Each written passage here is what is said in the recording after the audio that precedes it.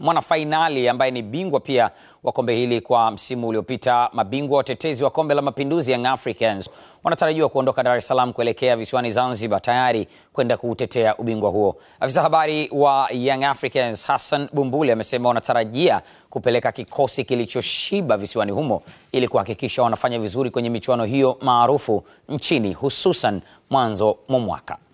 Tunakwenda kwenye michuano ya kombe la mapinduzi huku tuki, tukiwa mabingwa watetezi na tunakwenda na kikosi chote kikosi chote cha wachezaji wote ambao unawafahamu wanacheza uh, wanachezea klabu ya Yanga.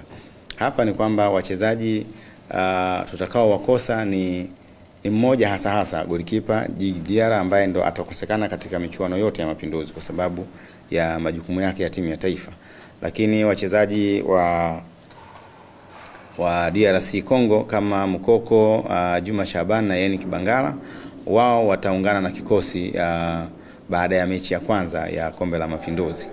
Le, lakini uh, wengine wote uh, wanaondoka siku ya Jumanne uh, kwenda huko Zanzibar wakiwemo wachezaji ambao tumekwisha watambulisha uh, kwa maana ya Sure Boy uh, Twalib Msheli, Abu Twalib Msheli pamoja na uh, Dennis Nkane. Hawa wanakwenda wana uh, moja kwa moja kuungana na, na wenzao uh, leo kambini na kesho watakuwa katika msafara huo.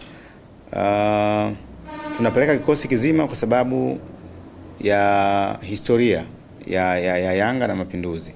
Uh, sisi kama Young Africans tunakwenda kushiriki michuano ya kombe la Mapinduzi, kwanza kama mabingwa watetezi kimpira, lakini pia kama washiriki wa shughuli zenyewe za Mapinduzi kama klabu.